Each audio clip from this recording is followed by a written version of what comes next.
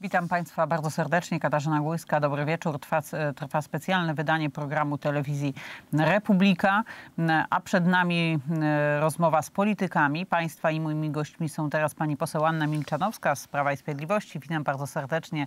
E, dobry wieczór pani poseł. Jest dobry nami, wieczór pani redaktor. Dobry wieczór państwu. Jest z nami również pan senator Jan Filip Pliwicki, Polskie Stronnictwo Ludowe, Koalicja Polska. Witam bardzo serdecznie. Dobry, dobry wieczór, wieczór panie senatorze. Kłaniam się. Witam. Szanowni Państwo, e, rząd podjął decyzję co do po pierwsze importu węgla z Rosji. Ten import będzie w Polsce zabroniony.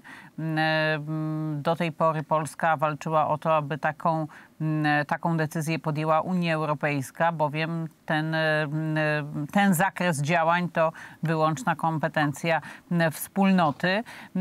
No ale mimo wszystko Polska zdecydowała się teraz na ten ruch. I jak Państwo oceniają tę decyzję? Pani poseł Anna Milczanowska. Y, bardzo dobrze się stało, że dzisiaj na posiedzeniu Rady Ministrów taka decyzja była, została podjęta y, i Polska rzeczywiście jako właściwie pierwszy kraj y, Unii Europejskiej podejmie samodzielnie swoimi ustawami. Będziemy pracować też nad tym mm, w parlamencie, żeby ta blokada napływu rosyjskiego E, węgla e, nastąpiła. Pamiętajmy, że ponieważ tyle fake newsów, pani redaktor, jest podawanych, to nie rząd polski sprowadza węgiel, nie sprowadzają go żadne spółki Skarbu Państwa. Węgiel był sprowadzony przez prywatne podmioty, prywatnych przedsiębiorców prowadzących swoje swoje firmy na potrzeby sprzedaży też y, indywidualnym odbiorcom. Może tam, gdzie niektóre firmy powygrywały przetargi, oczywiście prywatne firmy w dostarczaniu tego węgla. Dobrze, że zostanie to tak podjęte. Warto tu jeszcze pamiętać o tym, że dzisiaj była również y, mowa o zamrożeniu. A to za chwilę e, będziemy, będziemy pani poseł na ten temat rozmawiać, tylko no co do tego oczywiście są wątpliwości prawne. Polski rząd powołał się na klauzulę bezpieczeństwa, mm, no ale może być tak, że mm, Komisja Europejska nie uzna tego działania, bo ono stoi w sprzeczności z, z prawem europejskim. Jak na to patrzy pan senator Jan Filip Kibicki z Polskiego Stronnictwa Ludowego Koalicji Polskiej? Znaczy ja nie chciałbym tutaj poruszać aspektów prawnych, bo zwyczajnie nie czuję się kompetentny. Natomiast mogę powiedzieć tak, no Rosja z całą pewnością jest państwem, której gospodarka funkcjonuje z eksportu surowców i te środki z tego eksportu służą dzisiaj do walki z Ukrainą i z Ukraińcami. W związku z tym każdy sposób utrudnienia życia gospodarce rosyjskiej nawet wątpliwy prawnie, jest rzeczą, że tak powiem, dobrą i wskazaną. Ja bym powiedział tylko jeszcze jedną rzecz. No skoro jest tak, że jak panie mówicie, większość tych importerów to były podmioty prywatne, to uważam, że należałoby z tymi podmiotami po prostu porozmawiać i to w dwóch kierunkach. Pierwszy kierunek to jest taki, żeby powiedzieć, proszę państwa, interesy interesami, ale mówimy o geopolitycznym interesie Polski. Naszym geopolitycznym interesem jest to, aby wspierać Ukrainę. W związku z tym apelujemy do waszego obywatelskiego nastawienia, żebyście tego nie robili, nawet jeśli się okaże, że te podstawy prawne nie pozwalają nam tego zrobić. I druga rzecz to jest pytanie, żeby do tych osób, także na zachętę, wyjść z jakąś ofertą. Jaką? Nie wiem, nie jestem ministrem rozwoju, ale można by powiedzieć tym podmiotom na przykład, proszę Państwa, wycofajcie się z kupna rosyjskiego węgla, a w zamian za to dostaniecie takie i takie ułatwienia prawne czy inne ze strony rządu. Tak bym postępował. Uważam, że dzisiaj, i to pokazuje także nastawienie Polaków, to, że niektóre firmy z opóźnieniem, ale wycofują się z Rosji, no wycofują się dlatego, że okazuje się, że w innych krajach ludzie przestali kupować ich towary. A więc dzisiaj jesteśmy w sytuacji, w której nawet taki apel o pewny obywatelski bojkot przynosi pewne rezultaty. I tak bym też rozmawiał z tymi podmiotami. Mm -hmm. No ja przypomnę, że to mm, niestety nie zawsze tak e, dobrze działa. Oczywiście należy mm, trzymać presję, presję na, na, te, na te firmy, które cały czas są obecne w Federacji Rosyjskiej. No ale też wiemy o tym, że na przykład prezydent Francji zachęca swoje koncerny do tego, żeby w Rosji pozostawały, żeby tam robiły interesy. Więc z jednej strony jest presja społeczna, a z drugiej strony też zachęta no, dużego państwa, jednego z największych państw w Unii Europejskiej do tego, żeby biznes, biznes e, tam francuski pozostał. Pani poseł, to ja dopytam, no bo tu rzeczywiście za, za tą decyzję Polska może stanąć przed Trybunałem Sprawiedliwości Unii Europejskiej i być, być może jeszcze będzie musiała zapłacić jakąś karę. E, Moglibyśmy, moglibyśmy się z tego no, zaśmiać, bo sytuacja jest tak oczywista chyba dla każdego. No ale mm, to chyba nie jest temat do śmiechu, bo po pierwsze różne orzeczenia Trybunału Sprawiedliwości Unii Europejskiej no, nauczyły nas e, tego, że mm, prawo to jedno, a rzeczywistość to drugie. To jest po pierwsze, a po drugie, no z jakiegoś powodu e, państwa członkowskie Unii Europejskiej nie chcą zgadzać się na zakaz importu węgla rosyjskiego do Unii Europejskiej, więc to jednak jest naruszenie jakichś interesów, bo przecież jestem sobie w stanie wyobrazić, nie znam struktury własnościowej tych firm, które sprowadzają do Polski węgiel. Pewno są to i mniejsze, ale też i duże przedsiębiorstwa. Można sobie wyobrazić, że te większe e, mają e, też jakichś udziałowców w innych państwach, więc być może rzeczywiście z, takim, e, z taką skargą do Trybunału Sprawiedliwości Unii Europejskiej należy się liczyć. Zresztą sam pan minister Piotr Miller, rzecznik rządu, też o tym mówił. E, Panie redaktor, no rzeczywiście może tak być, ale e, moim zdaniem będzie to ogromny sprawdzian dla Unii Europejskiej. E, Jak się zachowają sądy, trybunały Unii Europejskiej, to co, będą przyjmować na przykład skargi, przepraszam, że użyję tutaj ruskich bandytów, bo pilno, pilnowałam zawsze dbałości o język, o jakość języka, ale nie chce mi się mówić rosyjskich. Więc albo będziemy y, te sankcje nakładać, będziemy konsekwentni, będziemy pilnować tego, nie bawić się tak jak y, y, prezydent Francji, pan Macron, rzeczywiście pod, pod, y, y, kręcając jeszcze niektóre gałęzie przemysłu francuskiego, które są w Rosji, aby tam zostawały.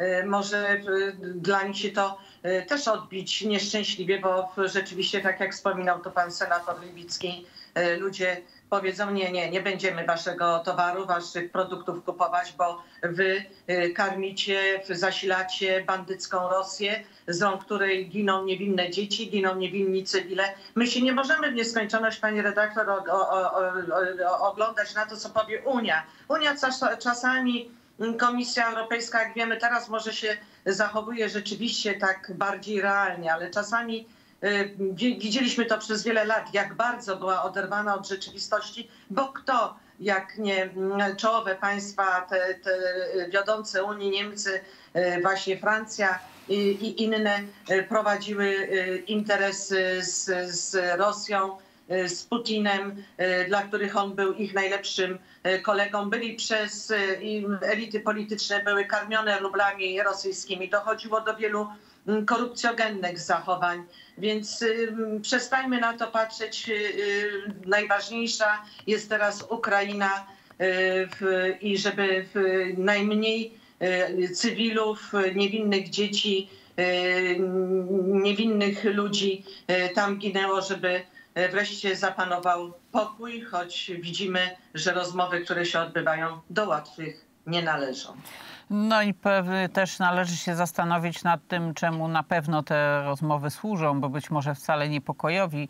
Mm, Na to też trzeba zwracać uwagę. Jednak myślę, że już chyba wszystkich doświadczenie nauczyło, że opieranie się, opieranie się na deklaracjach Federacji Rosyjskiej no to nie jest najlepszy pomysł. Panie senatorze, to w takim razie e, do pana kieruję to pytanie dotyczące mm, innej decyzji, też dzisiaj podjętej, wcześniej zasygnalizowanej na, między innymi na spotkaniu m, pana, panów premierów z przedstawicielami partii opozycyjnych. M, No, konfiskata majątków e, tych rosyjskich, których właściciele są na tych sankcjach unijnych. I teraz ja specjalnie użyłam słowa konfiskata, bo konfiskata wymaga zmiany polskiej konstytucji. W Polsce tak po prostu skonfiskować majątków nie można. W tej chwili rząd podjął decyzję o zamrożeniu tych majątków. Mhm. I czy Pana zdaniem konfiskata to jest dobra odpowiedź na y, wojnę? Proszę Pani, ja już odpowiadałem na to pytanie. Pani mnie o to pytała w którymś z poprzednich programów, więc odpowiadam. E, oczywiście świętość prawa własności jest zasadą świata cywilizowanego. Rosja rozpętując tę wojnę w sposób oczywisty dla wszystkich postawiła się poza granicami świata cywilizowanego, a więc takie reguły jak świętość prawa własności nie powinny jej oligarchów obowiązywać. I ja mogę powiedzieć tak, jesteśmy gotowi poprzeć zapis konstytucyjny, jak nam ktoś go przedstawi w jego brzmieniu, bo do tej pory rozmowa wyglądała tak, że na spotkaniu z partiami opozycyjnymi zapowiedziano taki zapis, ale takiego zapisu nie przedstawiono. Ja bym chciał taki zapis zobaczyć, bo chciałbym mieć absolutną pewność, że będzie to dotyczyło, e, że tak powiem, tylko tych, którzy postawili się jako biznesmeni rosyjscy mhm. poza zasadami cywilizowanego świata, a nie innych podmiotów, które do tego cywilizowanego świata, do którego e, zasadną... Panie,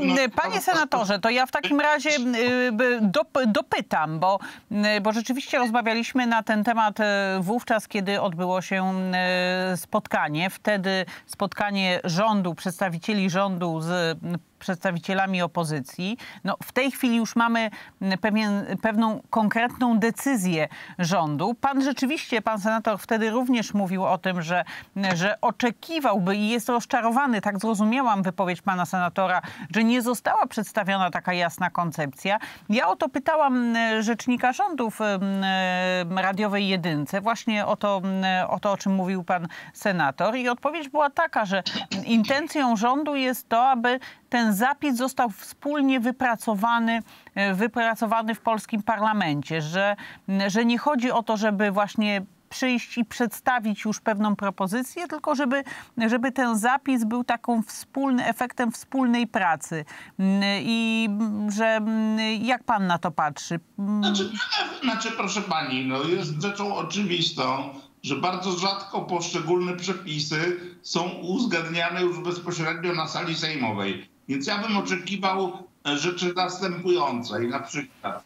Zdaje się, że są w ogóle w, w, w komisjach uzgadniane, tak, tak w większości. Że, że, pan, że, pan, że pan premier Morawiecki mówi, na przykład osobą ze strony rządu, która będzie, że tak powiem, rozmawiać o kształcie tego zapisu, jest na przykład pan minister Dworczyk. Zapraszamy prawników poszczególnych ugrupowań opozycyjnych na spotkanie Nasza propozycja tego zapisu jest taka, jakie Państwo macie do niej uwagi, ewentualnie czy macie zapisy alternatywne. Na tym spotkaniu mhm. doszlifowuje się kształt takiego zapisu i ten zapis przechodzi przez komisje sejmowe, Sejm i Senat mniej więcej w takim trybie, jak przeszła ustawa o obronie ojczyzny. No tak to widzę.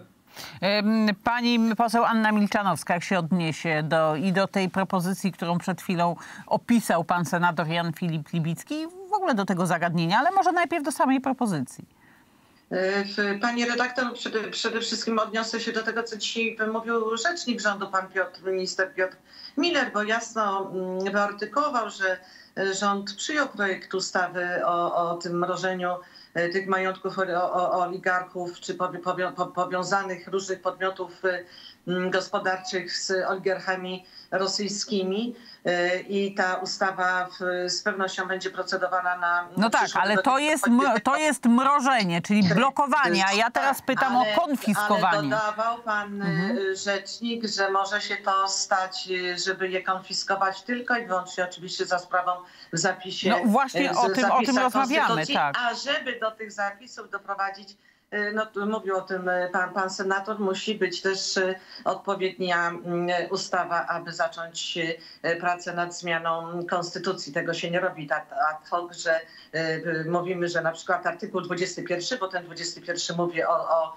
o tym świętym prawie własności. Jest to bardzo jednoznacznie w Konstytucji zapisane, że taka nowelizacja Konstytucji nastąpi. Nie możemy nowelizować Konstytucji. Możemy rzeczywiście odpowiednią ustawą dopiero tę Konstytucję zmieniać. Ale dzisiaj jeszcze ze strony pana rzecznika padło to, że Polska chce wyasygnować notę Mm, taką dyplomatyczną do Federacji Rosyjskiej o tym, aby wypowiedzieć umowę z 90, z 1992 roku, która de facto właściwie przez stronę rosyjską nigdy nie była mm, nie, nie, nie była realizowana, a mianowicie o tej ochrony, wzajemnej ochronie, ochrony inwestycji.